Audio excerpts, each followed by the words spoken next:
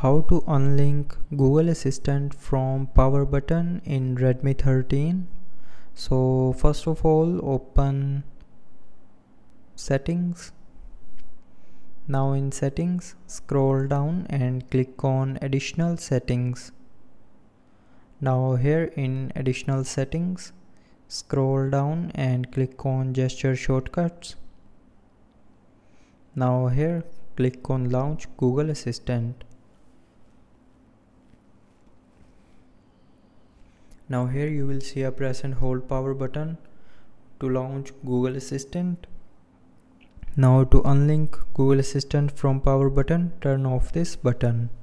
So now when you will press and hold the power button, it will not launch Google Assistant.